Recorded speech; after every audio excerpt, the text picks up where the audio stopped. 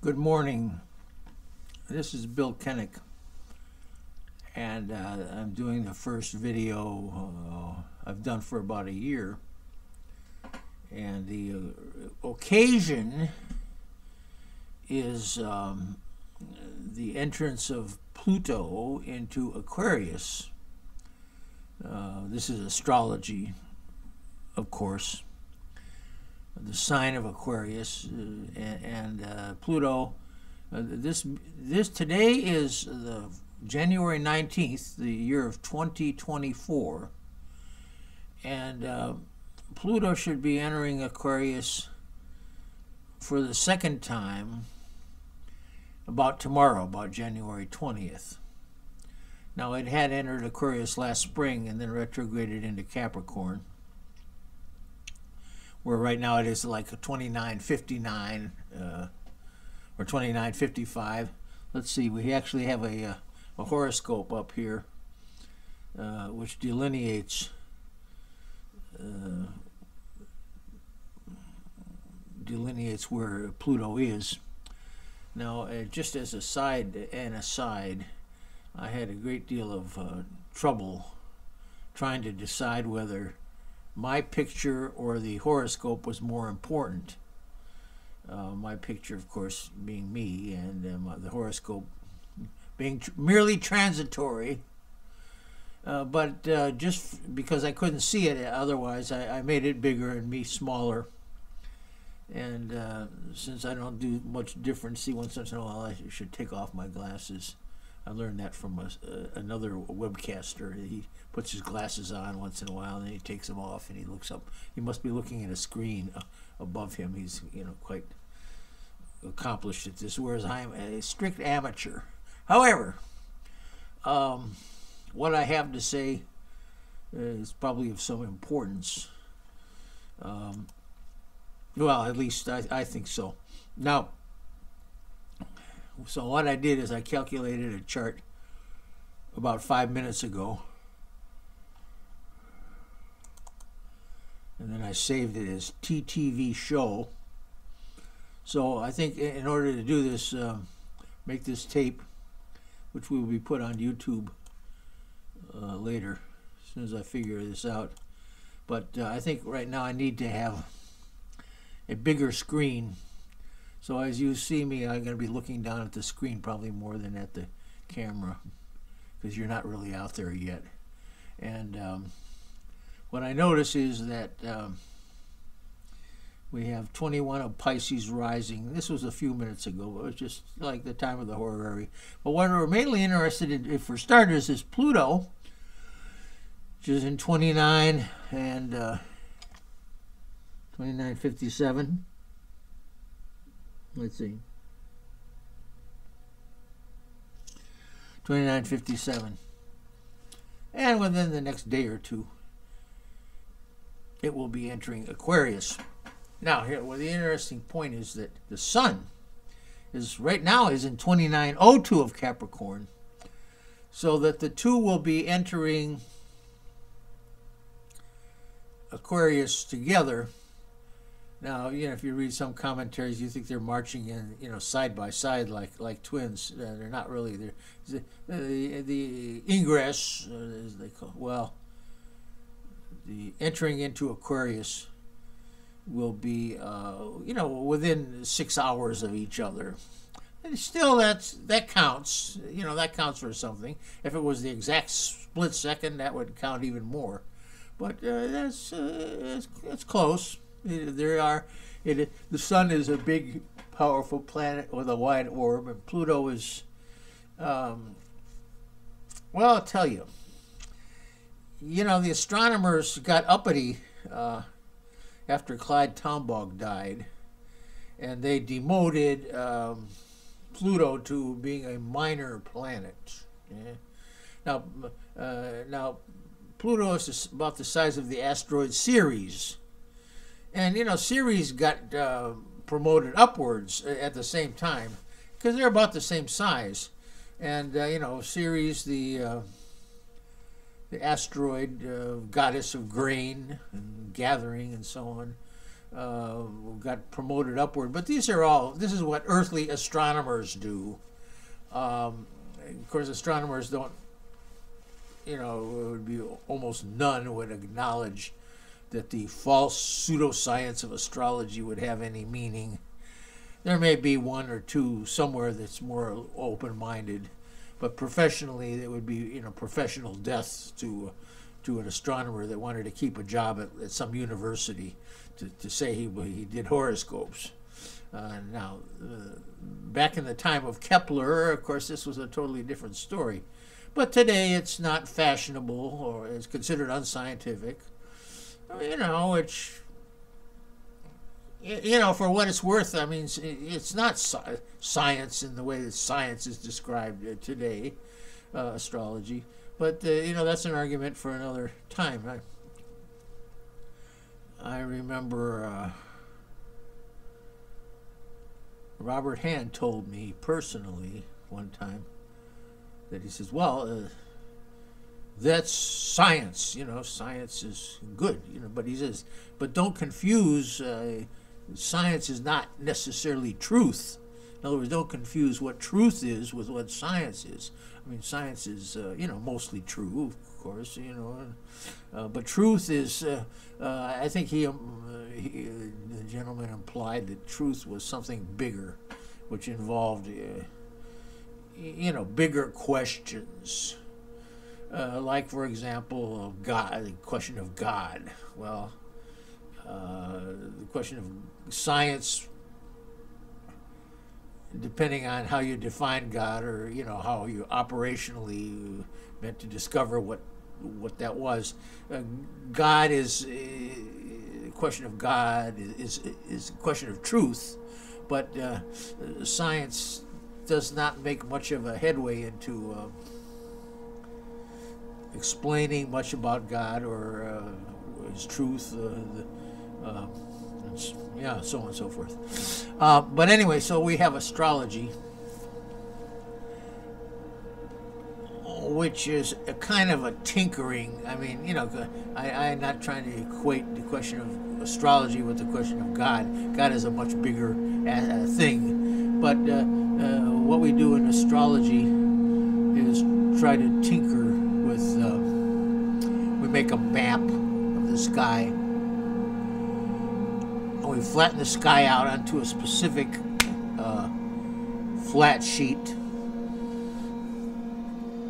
And uh, that's, well, that's kind of arbitrary.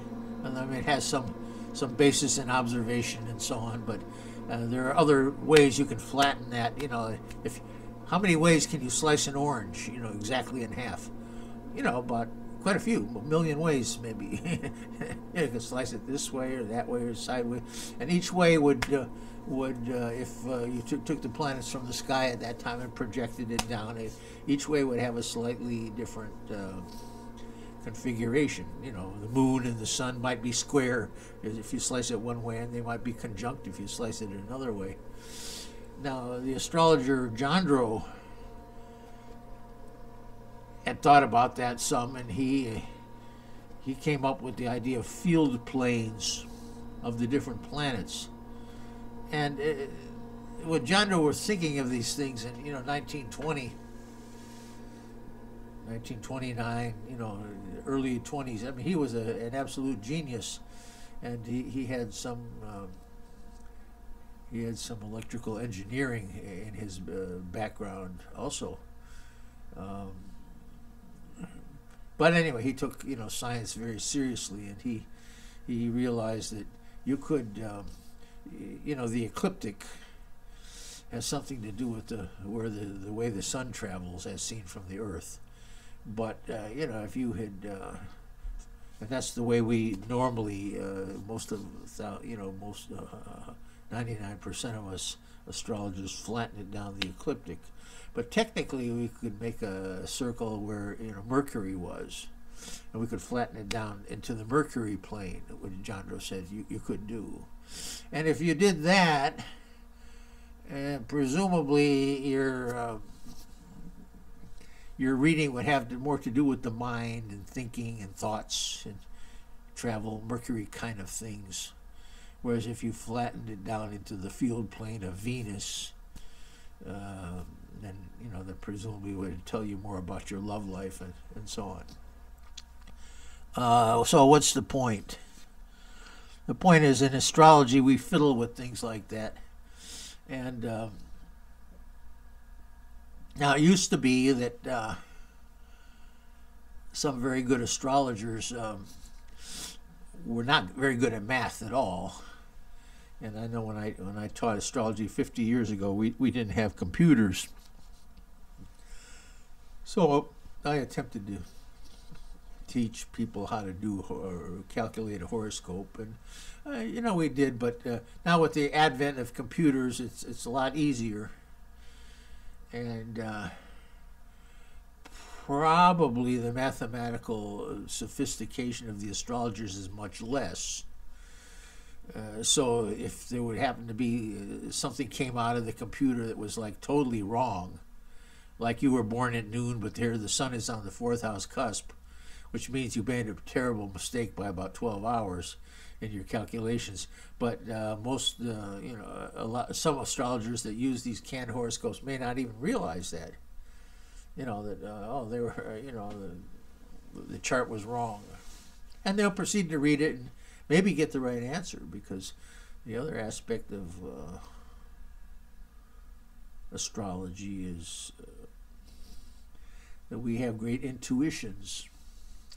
And some of the greatest astrologers, you know, I mean, if you an astrologer says, "Oh yeah, uh, you know, so and so astrologer was very psychic," see? and uh, I heard Al Morrison say that about some famous astrologer. I, I don't know if it was Evangeline Adams or somebody, but uh, uh, not you know. So don't. But somebody of that era.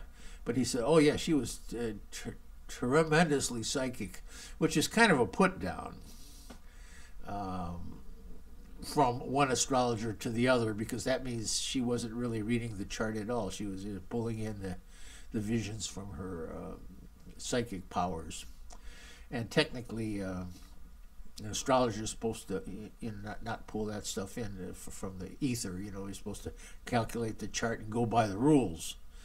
Now, in this particular uh, horoscope uh, here, uh, which I uh, calculated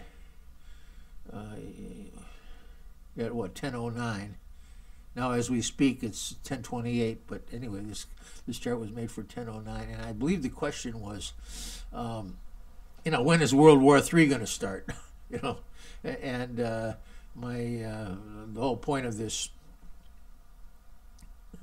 me doing this uh, this YouTube was that uh, I'm predicting that, uh, you know, I mean, it would be. Uh, I'm predicting that World War III will start tomorrow, or maybe the day after, but you know, sometime real soon. And in a way, you could you could say that well, world uh, now, why am I doing that? Is just an opportunistic uh, chance, uh, you know, really to, to say, yeah, I called it, you know, I or like I called the crash before, you know, the, the day before it happened, and, and so on. It's, it's, it's, sort of an ego trip, but nevertheless. Um, uh, assuming I ever get it on YouTube, it's going to be interesting. Okay, Pluto, but the, the premise is that uh, things are going to change a great deal. Now, you know, you don't really have to be an astrological genius to look at the news and say, look, uh, there, there's uh, three or four wars in the Middle East all starting at the same time. Right? Uh, like what?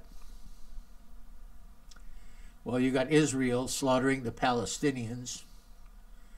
You've got uh, Iran shooting rockets at Pakistan. You got Pakistan shooting rockets at Iran. You got the United States shooting rockets at the Houthis, and the Houthis uh, shooting, you know, bordering uh, uh, shipping in the Red Sea. So you got a war there and you got uh, Hezbollah in Lebanon just waiting, you know, and having minor skirmishes at this time with the with Israel, and you have um, Iraq shooting at the United States um, occupiers, and uh, the United States shooting back on uh, what they call uh, c- police missions. And uh, you know that's just in the Mid East. Then you have Ukraine, uh, and the Russians having a major war there. I mean, you know, there's 10, 10 times more people are dying in Ukraine than in than in the Near East.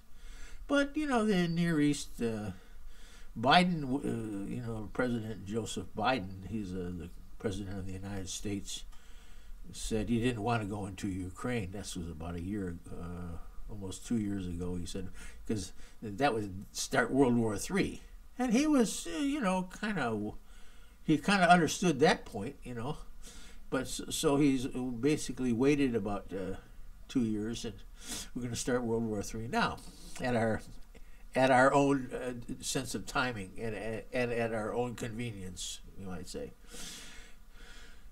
So uh, that's um, that's what this is all about. World War Three. Uh, now, what